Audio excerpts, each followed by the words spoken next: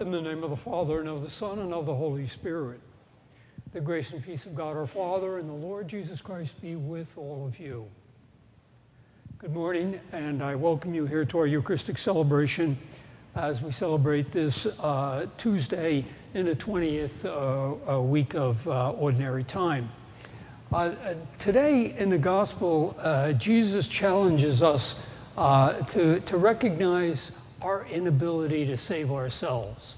And uh, he, uh, he confronts his uh, own disciples and, and saying that, uh, you know, it's impossible. He uses the, uh, uh, the metaphor of trying to pass a camel through the, head, the eye of a needle. And so we come to Mass this morning fully confident in the grace that our God provides for us to be able to do things according to his divine will and in the process save our souls. Lord Jesus, you raise us to new life. Lord, have mercy. Lord, have mercy. Uh, Lord Jesus, you forgive us our sins. Christ, have mercy. Lord Jesus, you feed us with your body and blood. Lord, have mercy. May Almighty God have mercy on us, forgive us our sins, and bring us all to everlasting life. Let us pray.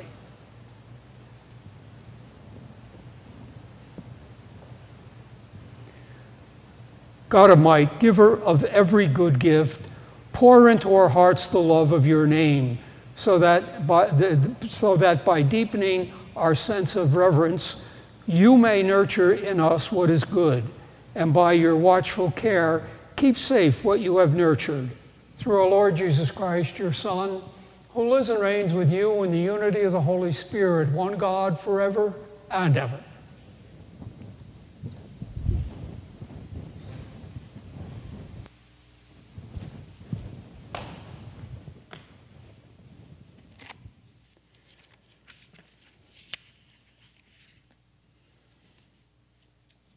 A reading from the prophet Ezekiel. The word of the Lord came to me Son of man, say to the prince of Tyre, Thus says the Lord God, because you are haughty of heart, you, uh, you say, I, I, A God am I. I occupy a godly throne in the head of the sea, and yet you are a man and not a God. However, you may think yourself like a God. Oh, yes, you are wiser. Oh, yes, you are wiser than Daniel. There is no secret that is beyond you. By your wisdom and your intelligence, you have made riches for yourself. You have put gold and silver into the treasuries. By your great wisdom applied to your uh, trading, you have heaped up your riches your heart has grown haughty from your riches. Therefore, thus says the Lord God, because you have thought yourself to have the mind of a God, therefore I will bring against you foreigners, the most barbarous of nations. They will draw their swords against you because uh, beauteous wisdom uh, they shall run, run through beauteous wisdom. They shall uh, run, run them through your, your splendid apparel. They shall thrust you down into the pit, there to die, a bloodied corpse in the heart of the sea. You will then say, uh, Will you then say, I am a God, when you, you, when you face your murderers? No, you are man, not a God. Hand it over to those who will slay you. You shall die the death of the uncircumcised at the hands of foreigners. For I have spoken, says the Lord God. The word of the Lord. The response to our psalm this morning it is I who deal death and give life. It is I who deal death and give life. I would have uh, said, I will make an end of them and blot out their name from men's memories. Had I not feared the insolence of their enemies, feared uh, that their foes would be mistakenly that they uh, would mistakenly boast. It is I who deal death and give life. Our own hand, uh, our own hand won the victory. The Lord was uh, had nothing to do with it, for they were uh, they are a people devoid of reason, having no understanding. It is I who deal death and give life. How could one man uh, rout a thousand, or two men put ten thousand to flight, unless it was because their rock sold, uh, sold them and the Lord delivered them up? It is I who deal death and give life. Close at hand is the day of their disaster, and their doom is rushing upon them. Surely the Lord will do justice for his people. On his servants he shall have pity. It is I who deal death and give life.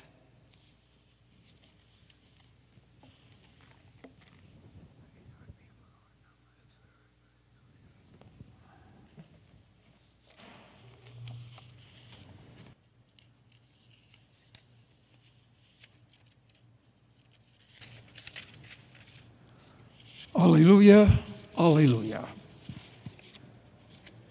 Jesus Christ became poor although he was rich, so that by his poverty you might become rich. Alleluia, Alleluia.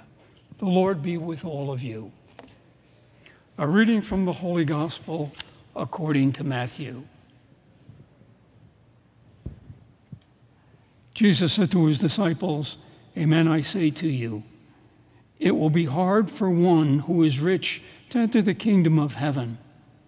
Again, I say to you, it is easier for a camel to pass through the eye of a needle than for one who is rich to enter the kingdom of God.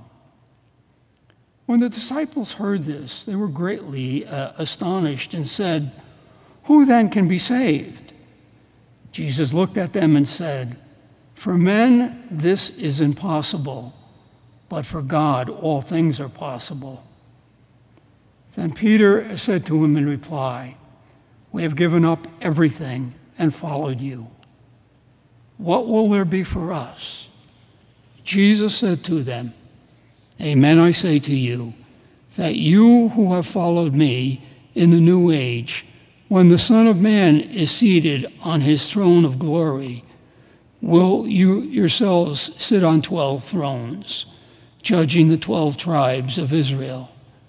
For everyone who has given up the houses or brother has given up houses or brothers or sisters or father or mother or children or lands for the sake of my name will receive a hundred times more and will inherit eternal life. But many who are first will be last, and the last will be first.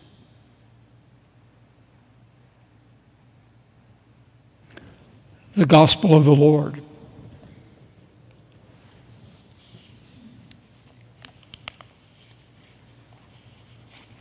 You and I uh, live in a world where uh, we see extraordinary things every day. And uh, we, uh, we marvel at uh, the you know, artificial intelligence and the internet. Uh, we marvel at uh, some of the, the medical advances that are taking place within, have taken place within our lifetime. Uh, things that, that are curable today when you and I were young were almost a, a death sentence. We look at the, the achievements in space uh, we, uh, with regard to the space station that, that circles our Earth, uh, uh, you know, uh, many times during the course of the day, and we take this all for granted.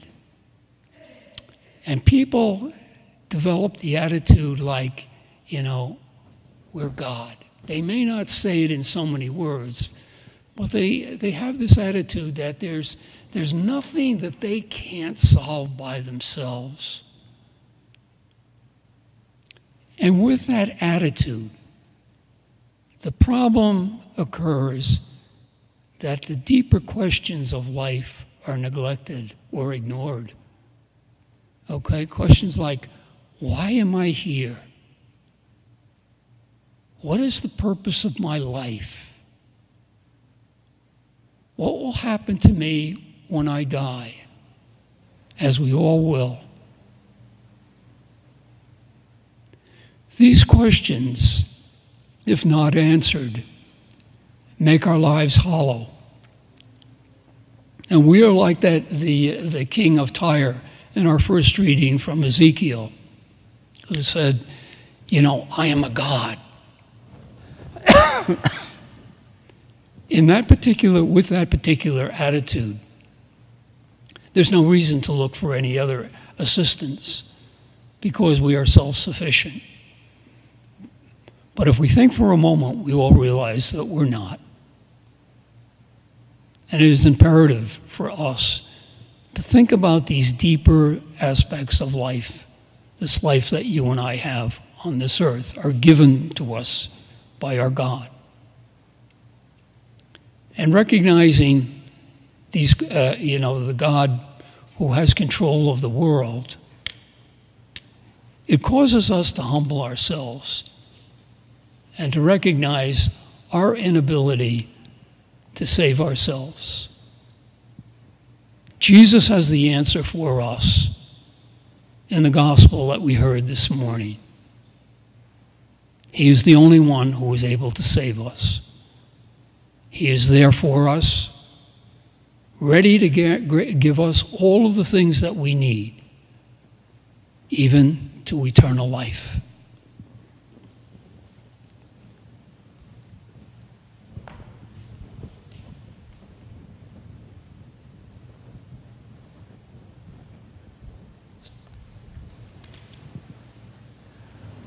I invite you now, please, to pray with me our, uh, uh, our general intercessions.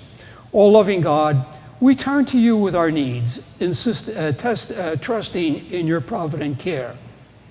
For all religious and civil leaders, that they may be granted wisdom to guide, uh, guide your people uh, during this global health crisis, we pray to the Lord. Lord, hear our prayer. For the safeguarding and dignity of all human life, from conception to natural death, including those persecuted because of race, creed, nationality, or lifestyle, we pray to the Lord. For wisdom for all those who work to find a solution for worldwide health problem, uh, issues and for generous, open spirits as we adapt to new practices uh, for public safety, we pray to the Lord. For all who strive for peace and justice, may we come to understand that we are brothers and sisters and work toward the, flour uh, the flourishing of all. We pray to the Lord. For all those economically challenged due to the health crisis, we pray to the Lord. Lord, hear our prayer. For all those who are seriously ill, hospitalized, or homebound, we especially remember Father Dan and uh, for um, uh, Warren Helms, and for all those who care for them, especially healthcare workers, we pray to the Lord. For all who have died and now live with the Lord, we especially remember all of the deceased members of our parish family. Let us pray to the Lord. For, the, uh, for the, uh, that through the intercession of Our Lady, we may grow in compassion and announce the good news of salvation and healing on our journey uh, from glory to glory, we pray to the Lord. God of love, confident in your desire to provide, we make, your, we make our prayer through Christ our Lord. Amen.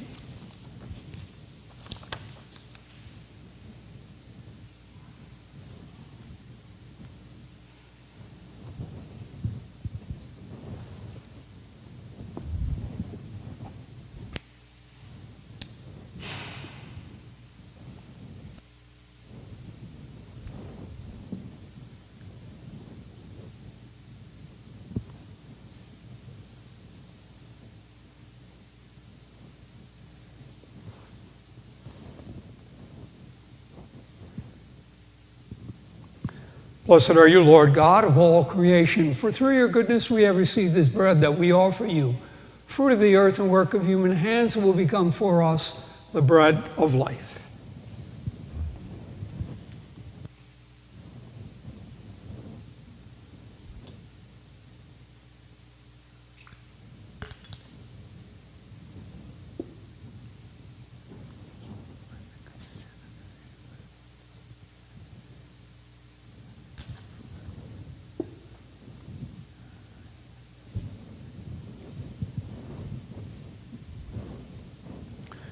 Blessed are you, Lord God of all creation, for through your goodness we have received this wine that we offer you, fruit of the vine and work of human hands, and will become for us our spiritual drink.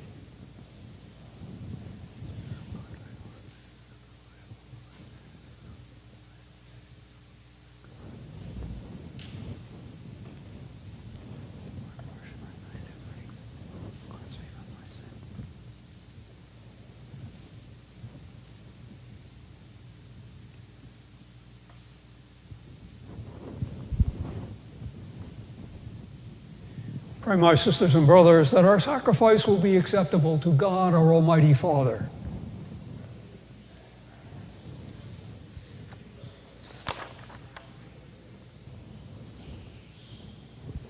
May the sacred offering, O Lord, confer on us always the blessings of salvation, that what is celebrated in mystery it may accomplish in power. And we pray this through Christ our Lord.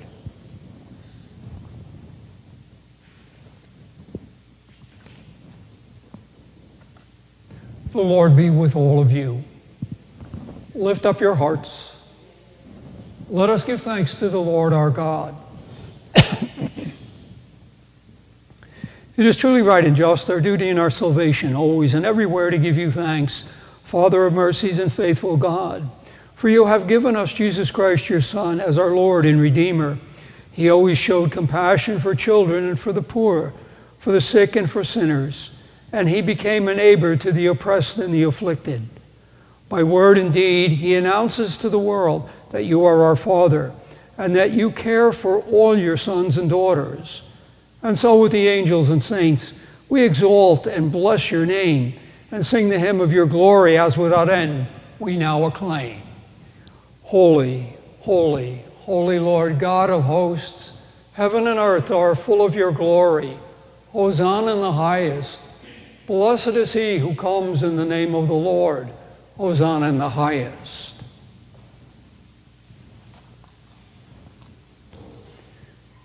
You are indeed holy and to be glorified, O God, who love the human race and who always walk with us on the journey of life. Blessed indeed is your Son, present in our midst when we are gathered by his love, and, one, uh, and, and, and when, when, as once for the disciples, so now for us. He opens the scriptures and he breaks the bread. Therefore, Father most merciful, we ask you to send forth your Holy Spirit to sanctify these gifts of bread and wine, that they may become for us the body and blood of our Lord, Jesus Christ. On the day before he was to suffer on the night of the Last Supper, he took bread he said the blessing, broke the bread, and gave it to his disciples, saying, Take this, all of you, and eat of it, for this is my body, which will be given up for you.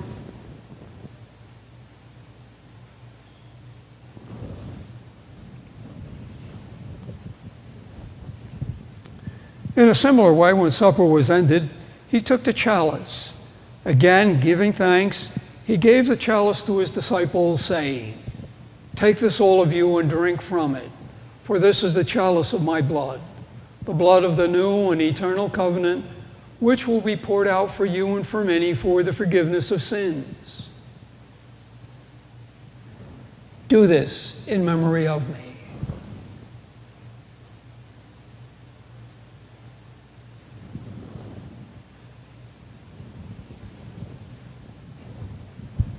The mystery of faith. When we eat this bread and drink this cup, we proclaim your death, O Lord, until you come again.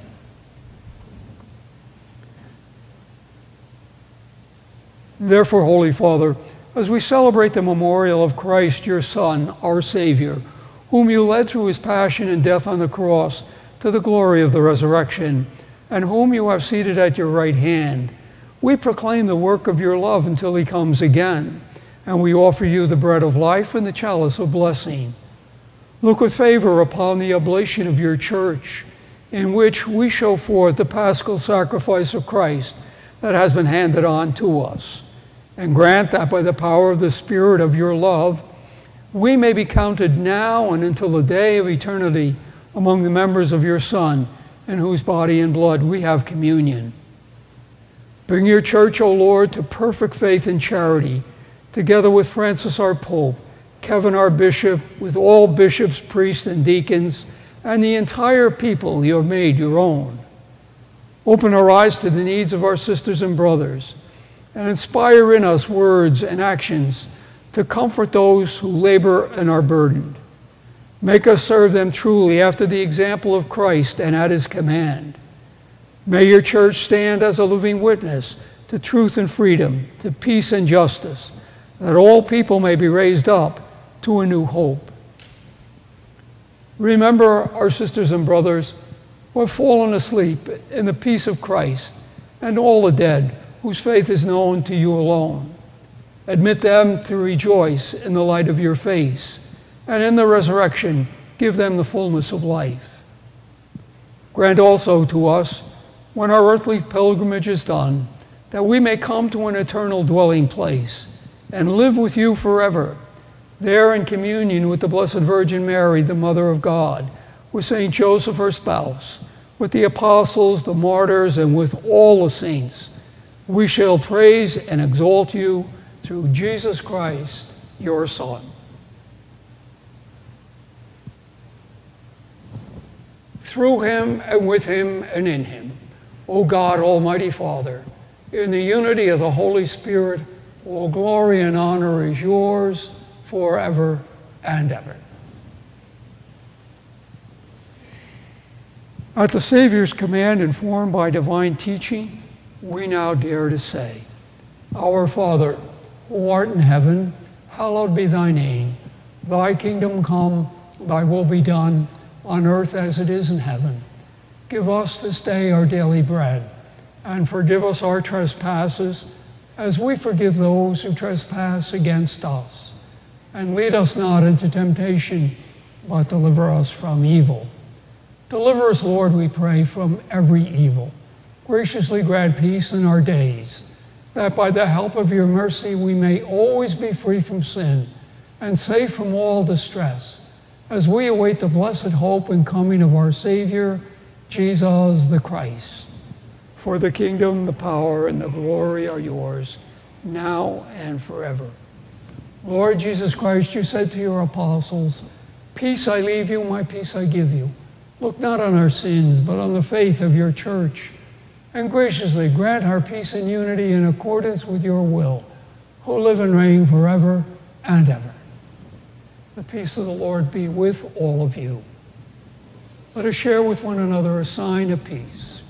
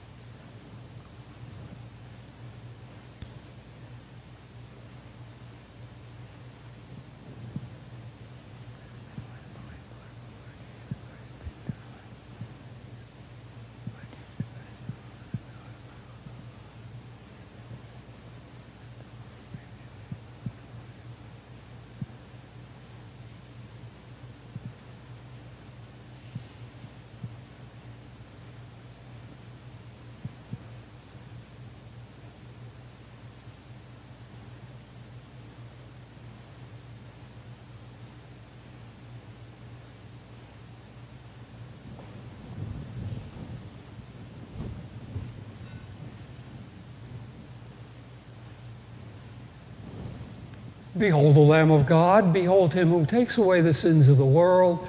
Blessed are those who are called to the supper of the Lamb. Lord, I am not worthy that you should enter under my roof, but only say the word, and my soul shall be healed.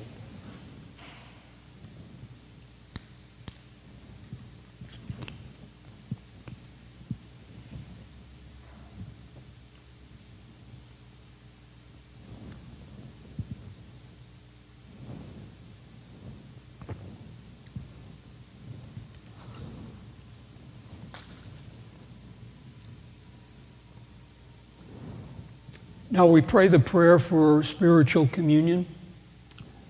In this moment of grace, I make a spiritual communion.